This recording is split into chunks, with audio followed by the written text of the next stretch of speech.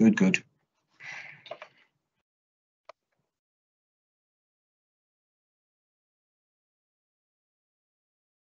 Afternoon, everybody. Hi, it's uh, Richard Warneford here. Um, thank you very much for joining us uh, this afternoon. So um, hopefully I know most people, but I'm wastewater director.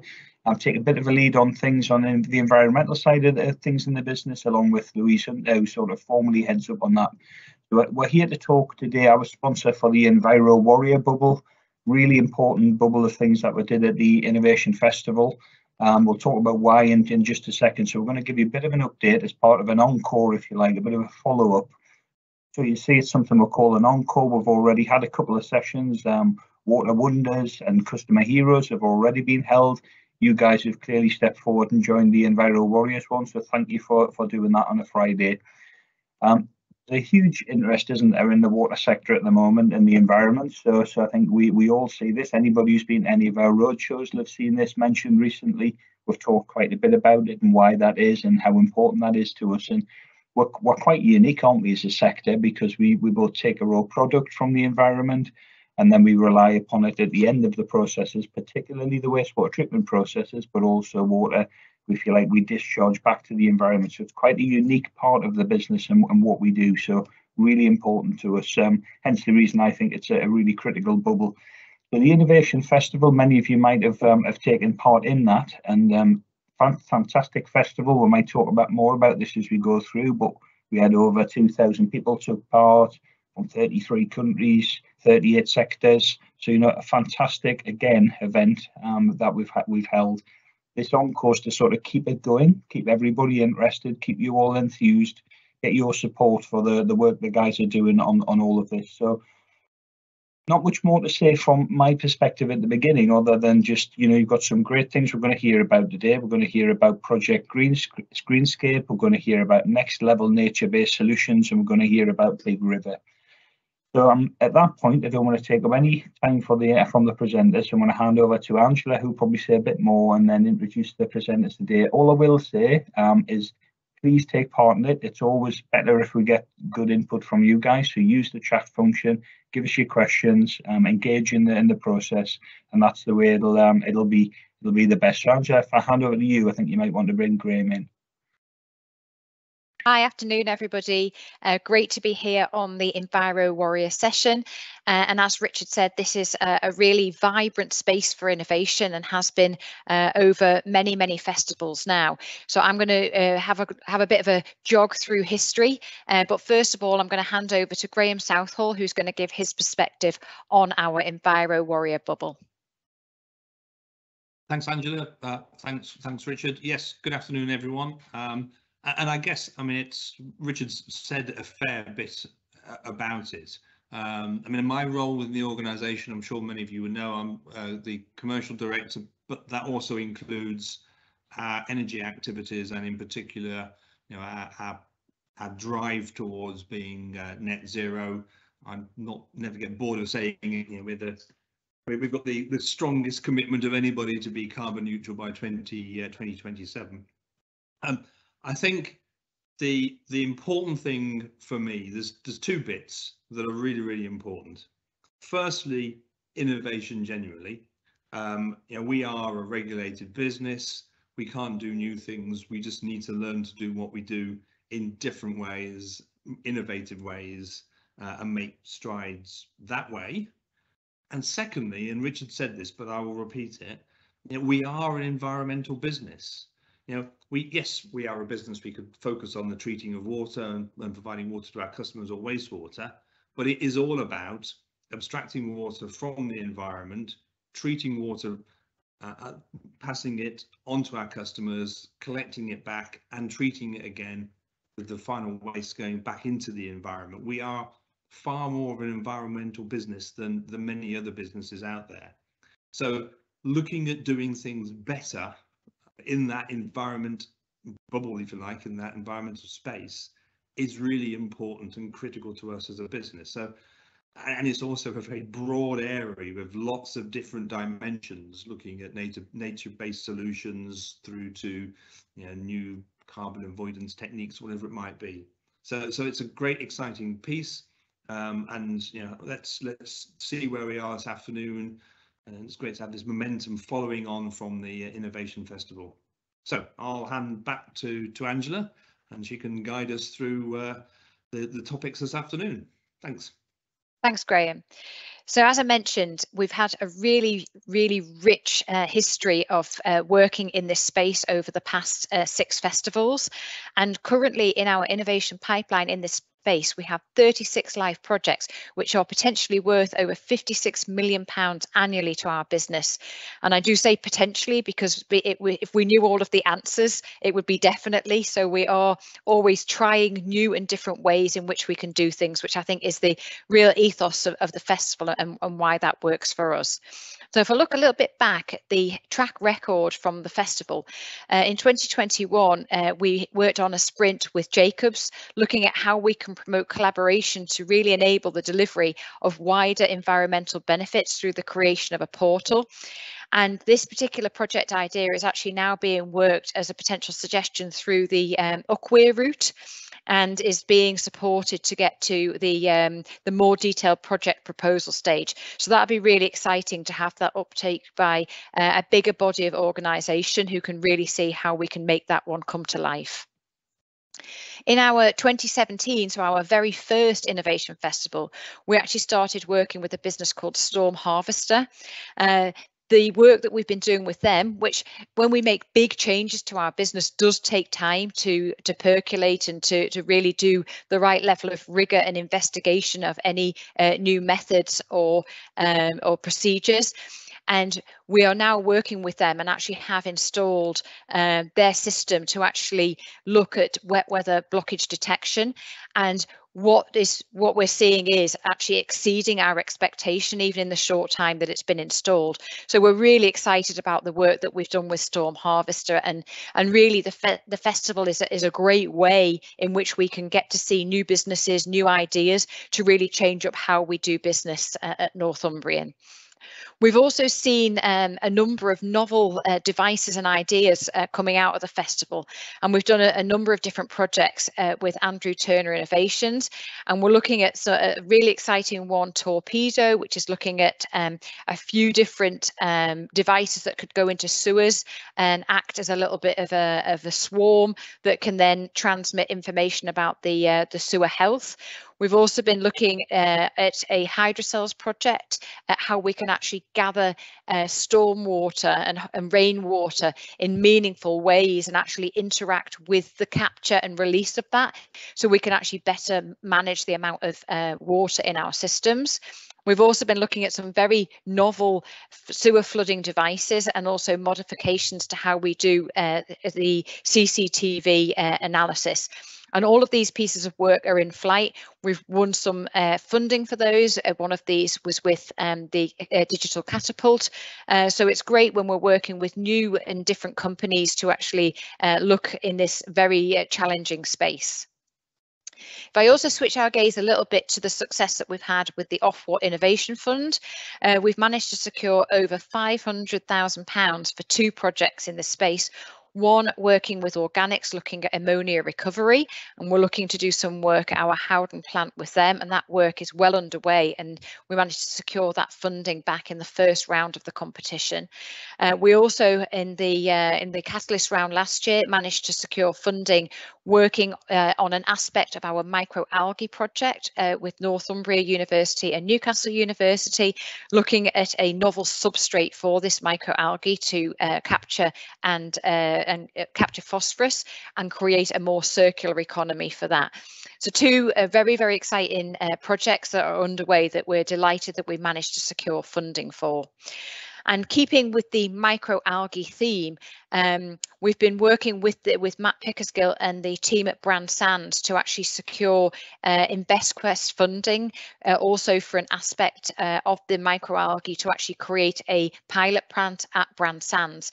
And this is a really big and ambitious project that uh, that will really disrupt uh, how we uh, how we treat uh, the sludge and how we uh, remove phosphorus. So we're really excited by what can come with that. And then also in, in 2020, the um, the wastewater team also managed to secure uh, the InvestQuest win, looking at what we can do along nature-based solutions. So we're really committed to working in this space, have, uh, as I said, a great pipeline of projects in there that are really starting to come to fruition. And I just want to flag up front that the whole point of these encore sessions is to share what comes out of the Innovation Festival. And unfortunately, we have not got an update on our rat out hack that kind of sat within this bubble. So just in case you're wondering uh, why that one's not being covered, um, it's just because this project is not being uh, being continued really with us leading, with Northumbrian leading, but it is actually still moving along with the partners that were part of that particular hack. And they've actually been uh, creating a virtual collaborative environment for data capture and sharing in this uh, very interesting space. So work is still continuing in, in that rat out uh, space, which we will continue to keep you updated on. But what we're going to do be doing now is we're going to be focusing on the projects that actually were at the festival in 2022. Uh, so I'm going to hand over to Clive Sermon Wells, who will be sharing more about the Greenscape project. Over to you, Clive. Thanks very much, Angela. Um, so this uh, is actually Project Greenscape.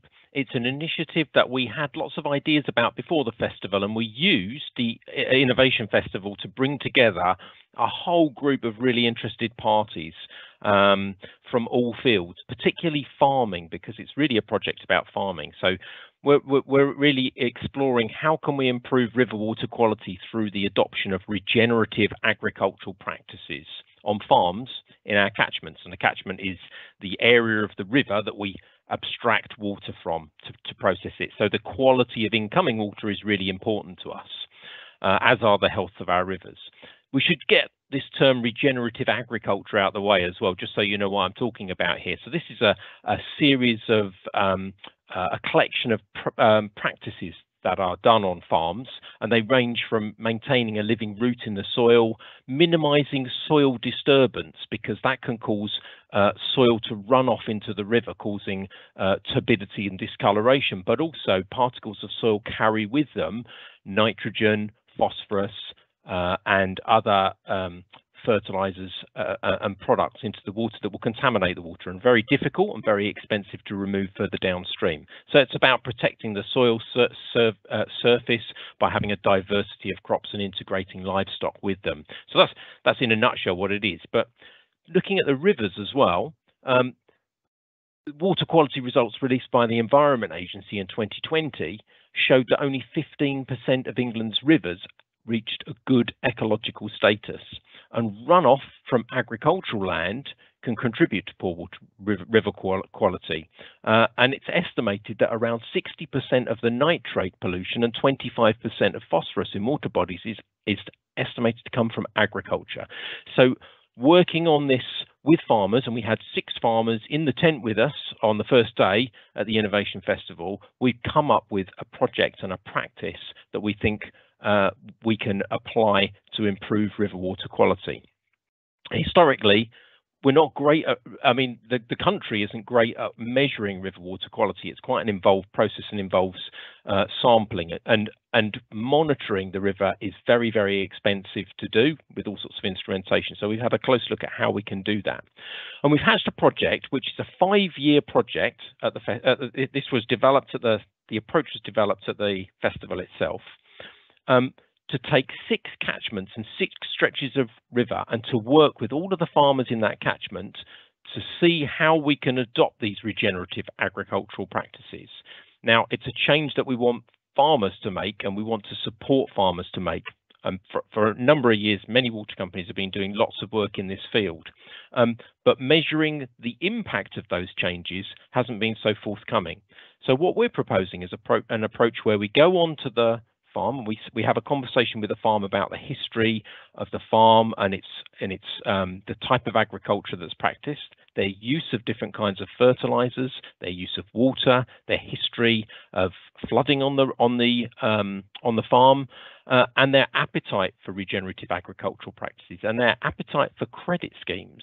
So farmers can be paid or landowners can be paid um, for things known as carbon credits, nutrient, nutrient neutrality credits and biodiversity credits. And there's opportunities to create these that could give the farmer a source of income that can help bridge the gap as they make the changes from the traditional techniques across to more sustainable agricultural practices. So we we would carry out that, and at the same time, we'd send out scientists to the field to sample the soil and uh, to look at the quality, the carbon content and the organic content of the soil at the outset as a benchmark, and the same in the river. So we put sensors in the river upstream and in the section of river we're monitoring and tie all of those three things together to take a benchmark then discuss opportunities with the farmer for uptake of some new practices. And then over the five years, it's a long-term project, actually 30 years, we, we would intend for the project to run over the, uh, a whole, after the five-year funded phase to keep going through uh, other sources of income, which I'll come on to, to, to measure the difference that those practices are making, not only to the river, but to the soil as well. Uh, it's really important to point out that improving uh, organic and carbon content in the soil means that soil sequesters more carbon. So it's helping us, uh, helping the environment. It also, uh, soil with a high carbon content is known to hold more moisture. So it's actually a drought resilience measure and uh, an anti-flooding measure as well, if soil can hold more water.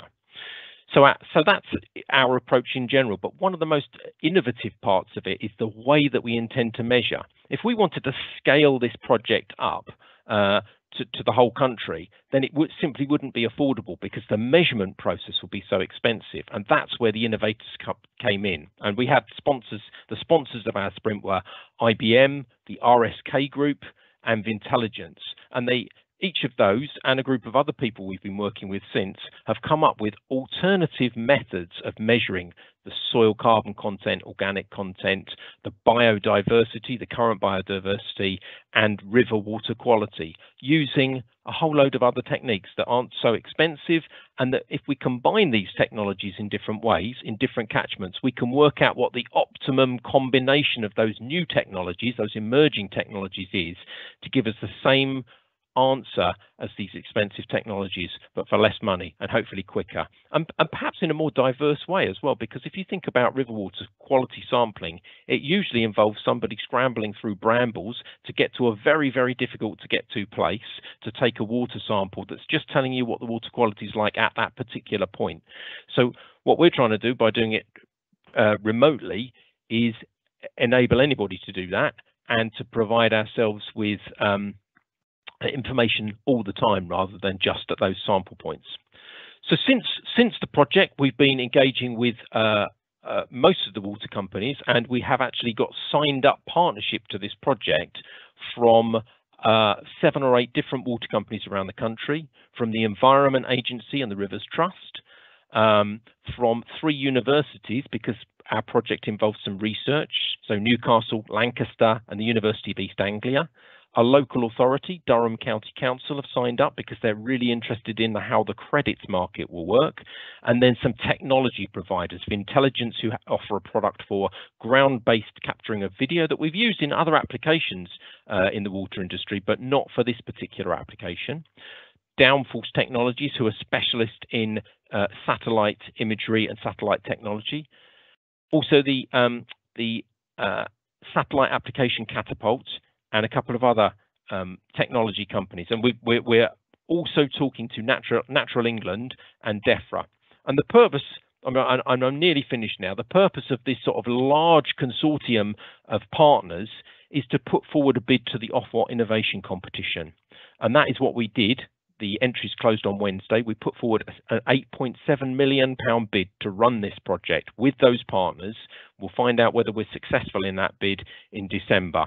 Um, and in the meantime, we'll be continuing to work up the precise details of the project. It's already uh, a well-developed project and it's had lots of input from people around our business and from all of those organisations into you know, exactly how we should run that project, how much it will cost, which technologies we should use, and so forth.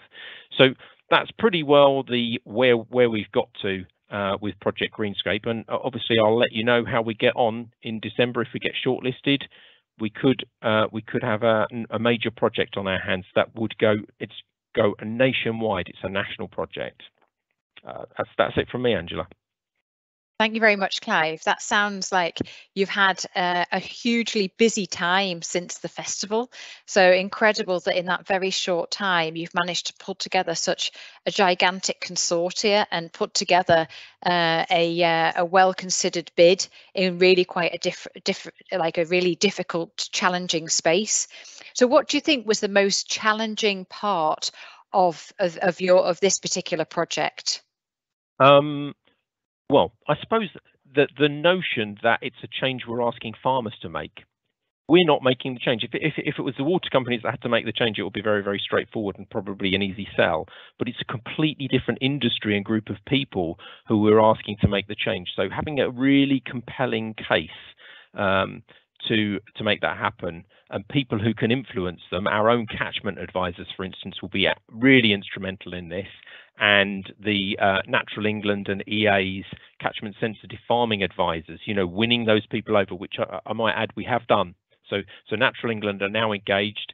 Um, we've started dis- discussion. So it's having all of those discussions and getting the right people involved to win farmers over uh, and to work in partnership with farmers. That, that, that's going to be really challenging, I think, as we go forward too. Well, fingers crossed, and I very much hope that uh, that we get through to the uh, the second stage with that particular bid. Uh, so uh, so we'll find out, and we'll keep everybody posted uh, in terms of what happens with that. So uh, so great great work, Clive, and indeed the the Project Greenscape team. So now we're going to switch gears and we're going to go over and hear more about the Big River hack. And I'm going to hand over to Michael Porritt, who will be telling us more about that. Over to you, Michael. Thank you. I wish I'd gone first now. It's a tough act to follow that one. Well done, Clive. Um, hi, everyone. So yeah, this year I led the uh, Big River Data Hack, um, which was all about finding a way that we can publish information on spills from storm overflows in near real time um, and enhancing that information with um, and combining it with rich contextual data. Um, as a bit of background, the Environment Act 2021 has a requirement that all water companies need to publish this spills data in near real time. Um, near real time might not mean much to you, but um, in this context, it means within an hour. So within an hour of a spill starting, we have to publish that it started. Um, and within an hour of it stopping, we have to publish again to say that it stopped. Um, it also says that the data should be published in a format that's easy to understand um, and should be readily accessible. At Northumbrian Water, we felt that um, this start and stop information was only part of the picture. Um, so in the true spirit of the Innovation Festival, we wanted to explore going further in our hack. Um, it's important to say that that part of the act hasn't actually been enacted yet, um, so we don't really know the timescales um, that we're going to be given for achieving this. Um, we really want to make sure that we're ahead of the game though uh, when it comes to the water environment um, so we're committed to a number of pledges that form our vision for um, our coasts and rivers. And one of those pledges is to provide access to near real-time spills data via a data portal by the end of next year.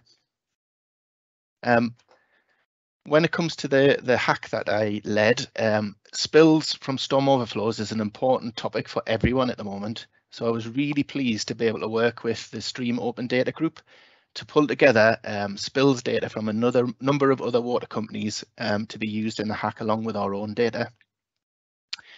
Um, it might seem like a pretty straightforward hack topic, but believe me, there was loads of different aspects to it. Um, so we had actually split the, the hack group down into a number of smaller groups, with each group looking at a different aspect of the challenge.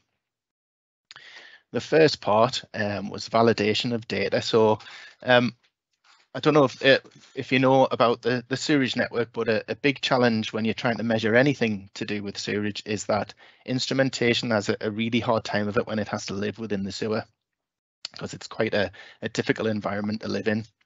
Um, we often get false readings and communication issues.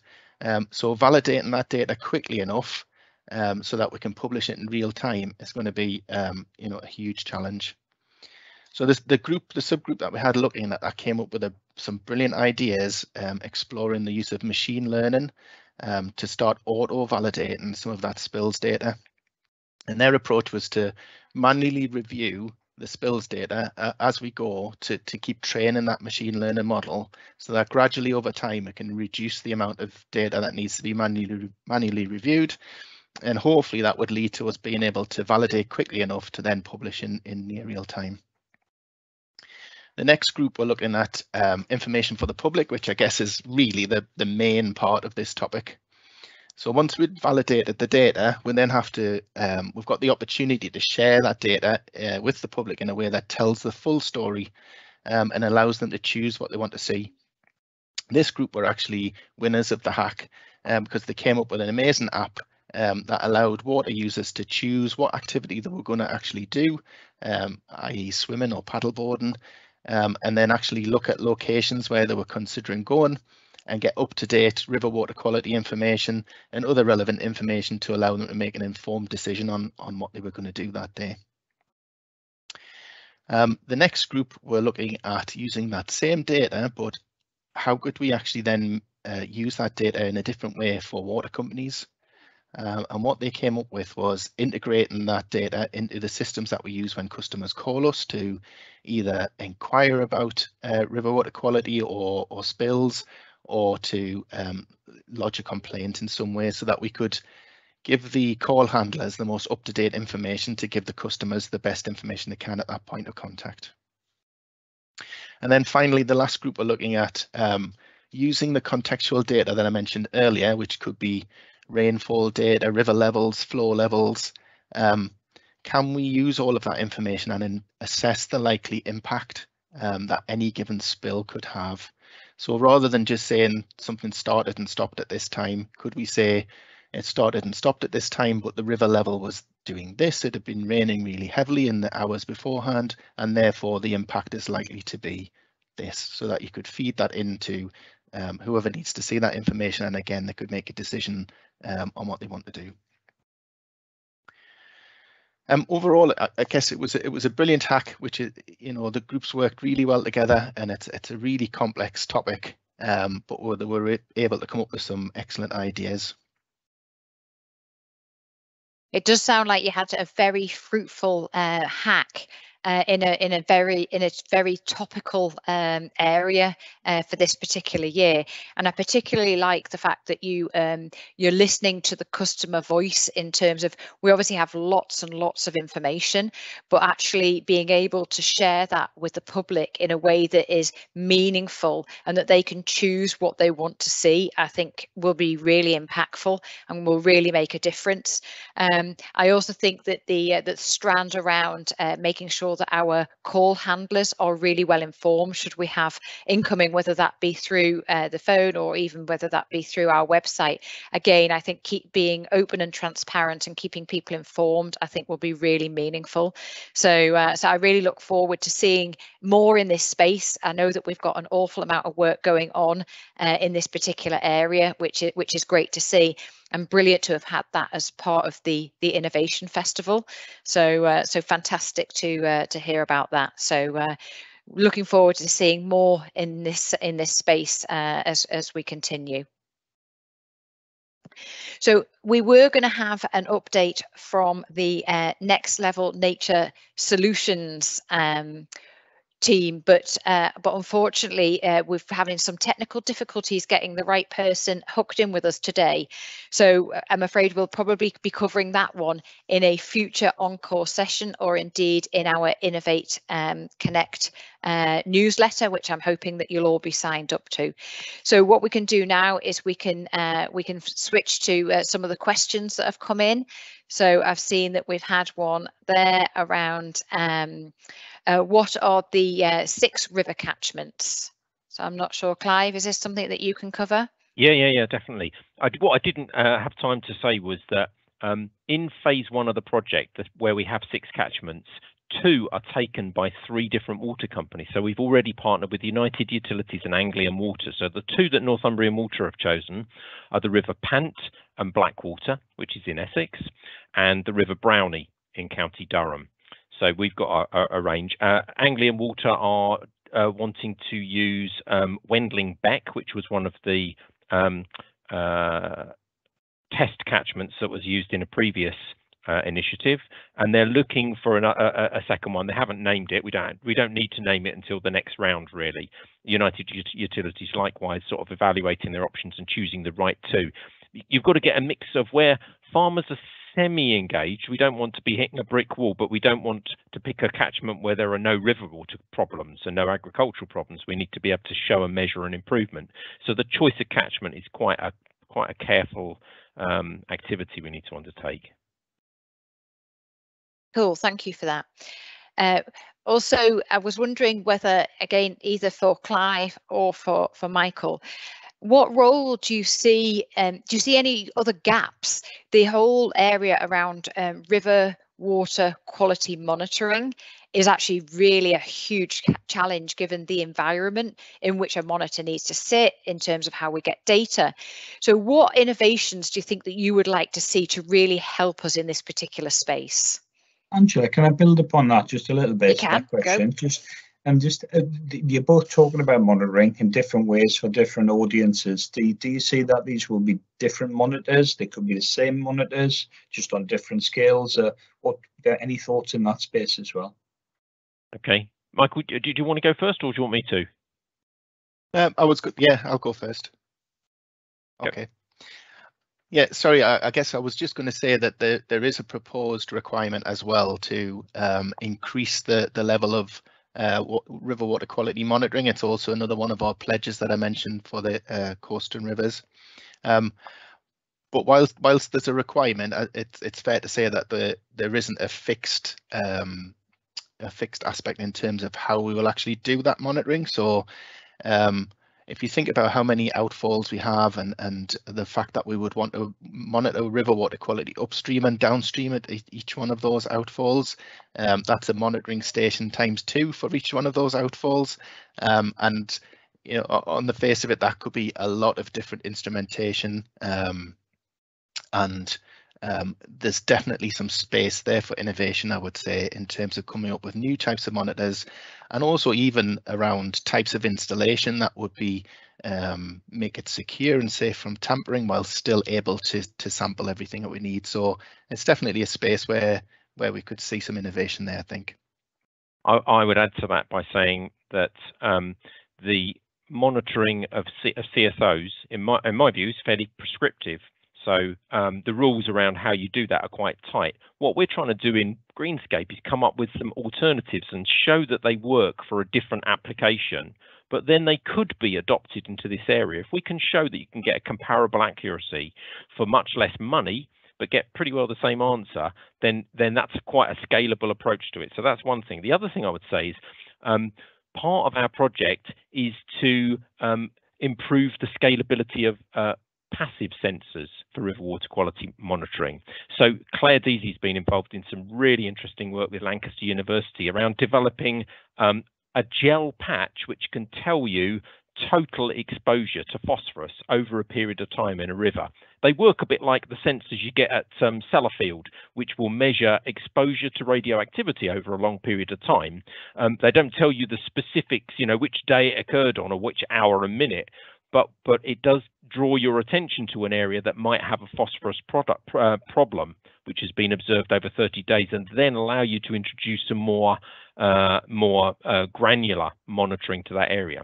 So what we're trying to do in Greenscape is combine these different methods of monitoring in different combinations to, to, to try and see which gives us the best and the most economical answer. I mean, we're not sure any of it will work or all of it will work, but but we're going to try it in enough catchments and in enough different combinations to probably come up with some pretty compelling answers.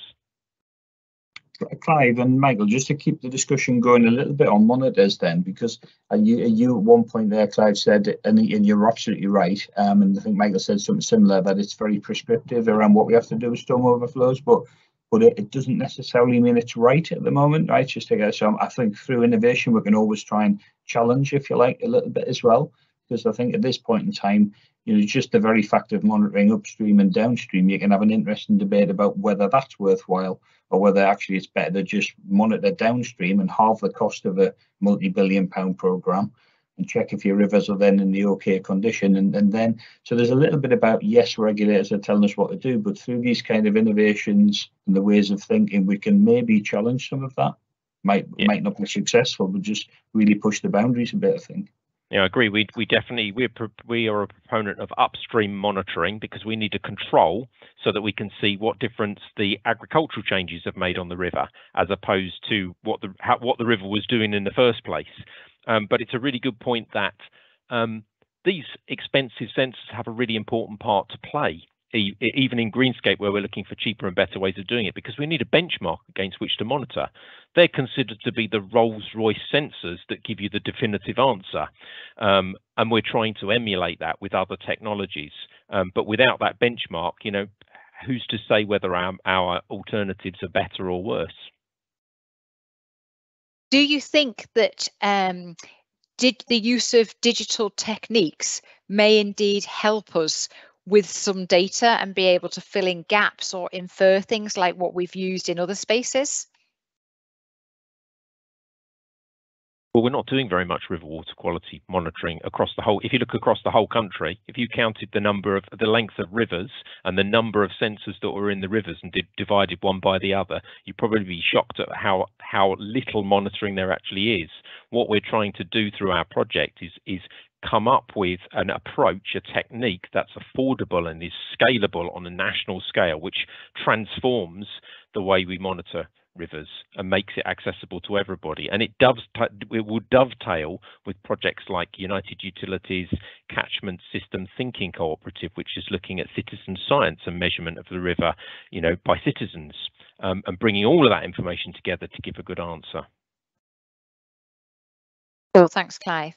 I've just seen that we've had uh, another uh, question in. So why does the monitoring have to be 50 metres away from the asset for the Environmental Act? Is there any danger of interpreting the data? I think that's just it, it. I think is this in relation to the upstream and downstream monitoring at, at outfalls? Yeah. Yes. It, and it just relates so that you're you're getting an indicative sample of the river rather than um, a sample of what's coming directly out of the outfall. Yeah, I understand the jury's out on that one, and there is some deb debate about how far up and downstream it needs it needs to be. The other the other thing, just to keep um, as much for the people listening in as well, this is it's just this interesting debate that we're having about who the we is in all of this. So I think that if you take Greenscapes, it's we're looking at partnerships and things, which I think is brilliant. I think that's where they should be, because there is a, a sort of a stealthy move towards the water companies starting to monitor river water quality, isn't there, through all of this? You know, that where if we, if that was the water companies, all of a sudden are the ones do, if we're the ones doing the monitoring, then everybody looks to us for river water quality, and we know that actually we're not all of the contributions. So there's just in there's lots of interesting discussions going on at the moment about who monitoring would sit with, who it will be owned by, would it be some kind of arm's length body that monitored, and all of that's going on in the background because these but it's it's quite a move. You know that has always been the Environment Agency's remit, and water companies are being asked to step into that space, which is quite interesting.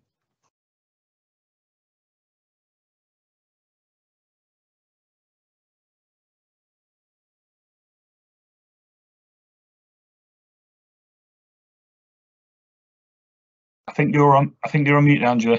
Yeah, I'm not seeing any other questions coming in, so it's um, it's great to uh, to have had an update from uh, from these two projects. Brilliant to see that they are making uh, real strides since July, which actually isn't that far ago, really. So it's um, so I'm sure that we're going to be uh, really keen to see the outcome of the Ofwat uh, innovation bid. So fingers crossed for that one. Uh, and great to see how these uh, projects will progress anyway, which we will keep you up to date with our Innovation Connect newsletter. So please feel free to sign up to that to get all of the latest news.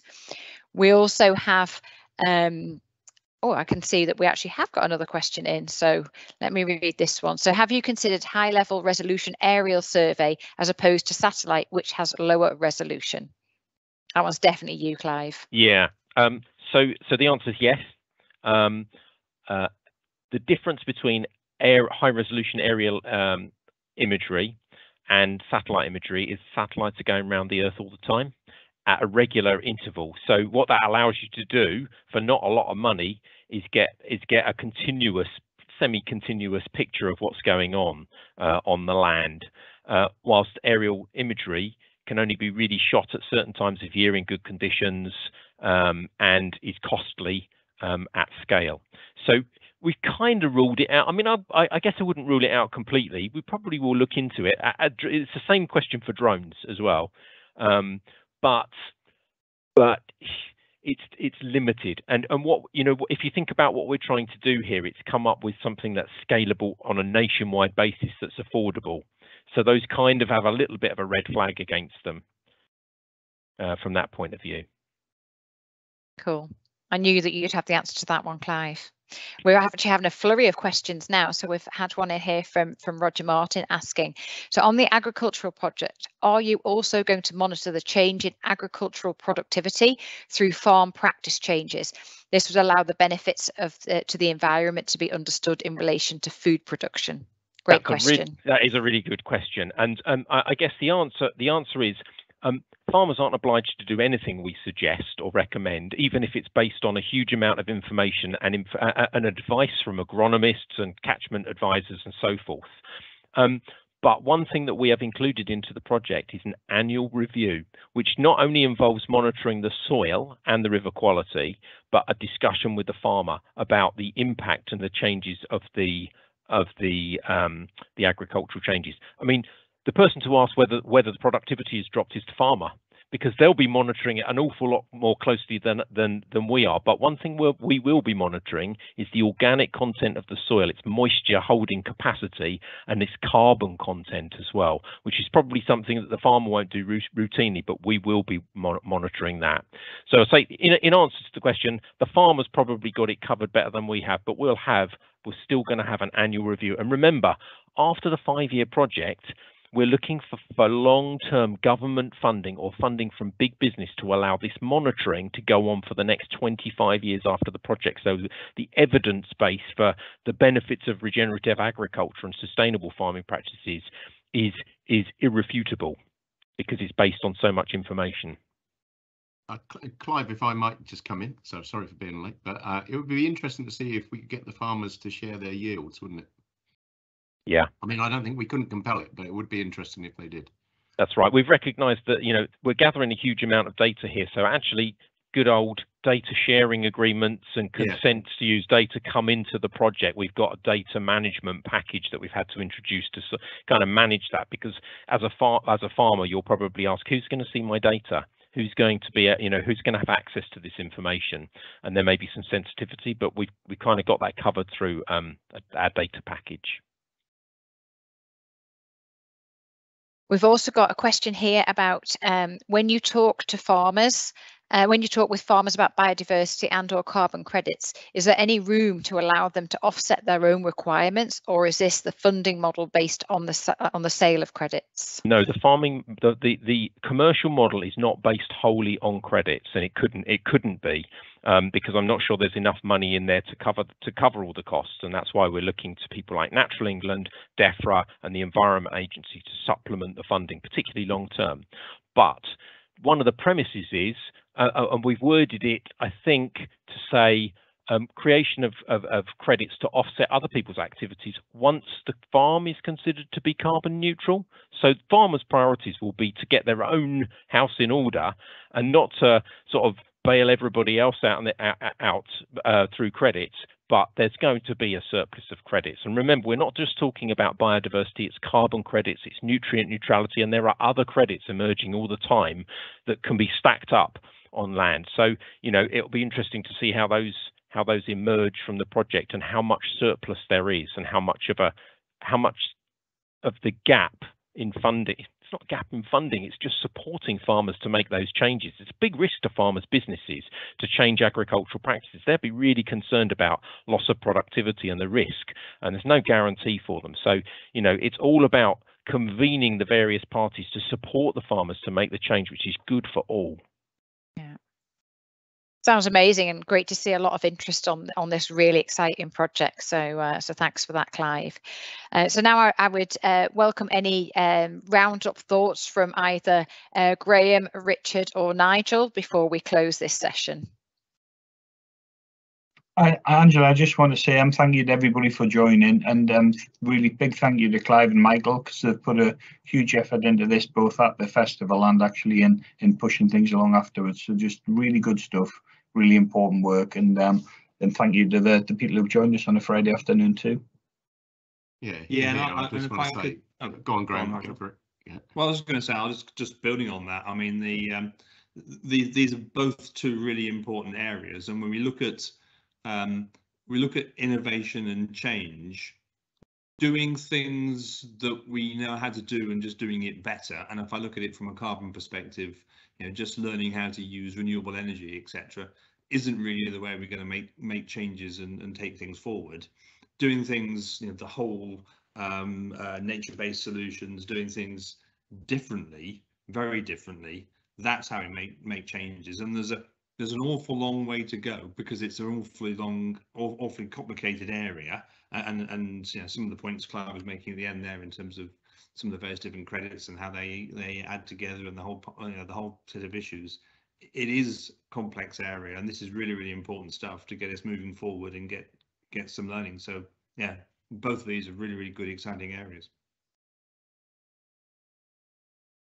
Yep, and I I would just add my thanks um, to the presenters and to everybody who showed up. And um, if you do feel like you're interested in those ideas and you want to stay attached to them, or you want to indeed contribute to them, then just let us know. Uh, the, we're always looking for people who have a passion for these things to drive them forward. And and uh, you know, I think we've formed some compelling partnerships outside of our business, but there's also room within our business for people to to get involved in this. So so please feel free to do so. And uh, yeah, let's say thanks again and have a good weekend.